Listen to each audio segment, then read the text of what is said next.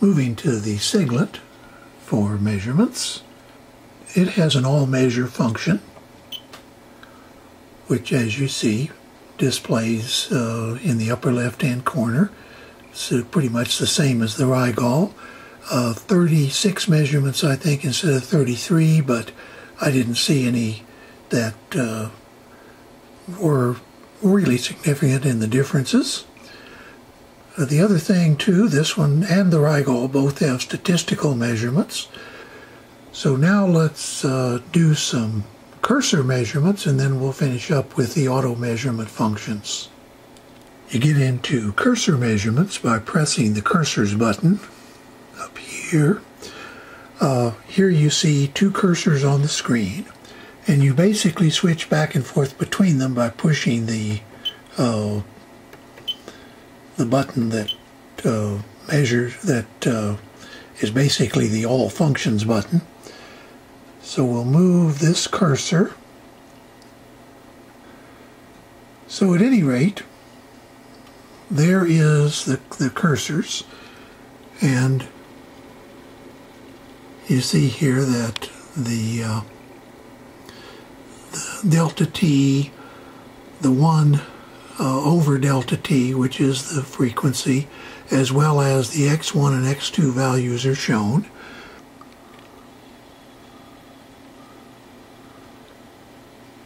And in case you're hearing beeps in the background, the uh,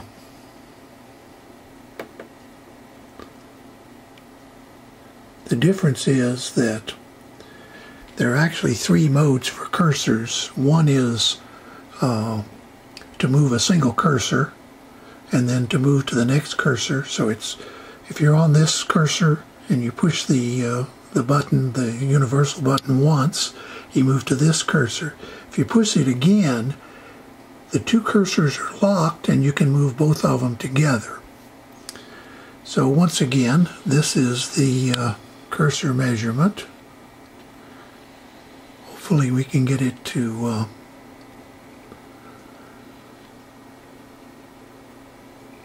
focus there and go in on that. And there you see you're reading the delta voltage as well as the absolute uh, x and y values relative to zero. So I'm now going to move on and do the automatic measurements on the uh, Siglent. To, uh, to get the measure menu, you uh, press the measure button. Uh, you then can choose the type. And what happens is a uh, selection screen comes up. In other words, unlike the Rigol where there's a list of uh, different ones down here and you have to scroll around, here you uh, you see the ones that are picked right now, voltage peak to peak and period. And if you look down here, the voltage peak to peak and period is shown there. So basically the way you pick them is you, you scroll and for example if you want uh, let's see what's that one? Vmax so we'll push that one. And then down here you'll see that Vmax shows up at the bottom. Once again the uh, you can only have five active at a time. You can clear as you can on the other also, uh, you can do a gate function. When you turn the gate on, you get a couple of cursors. One is uh, cursor A and cursor B. You also can have the relative, that is cursor A to B. If you select that, then the cursors move together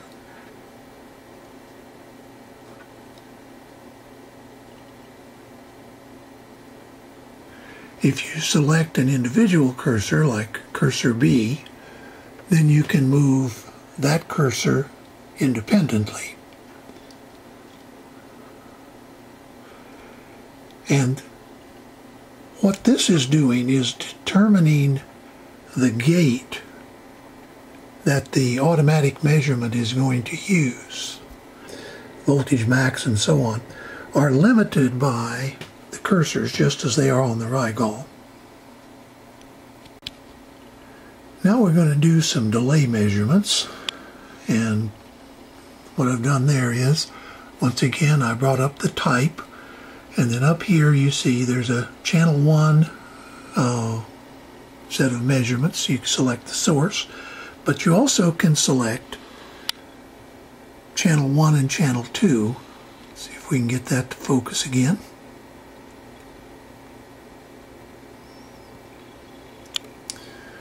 Let me move it off and it might show up a little better. There it is.